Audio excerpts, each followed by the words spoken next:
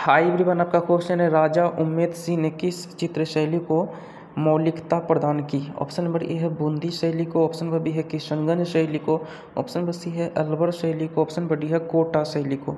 तो इस क्वेश्चन का ऑप्शन नंबर एक करेक्ट आंसर हो जाएगा बूंदी शैली को, ठीक है? So thank you like share subscribe so thank you